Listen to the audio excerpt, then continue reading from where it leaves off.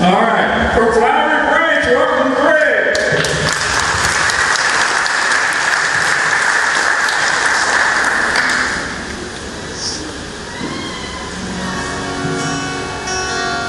I'm glad to be here tonight.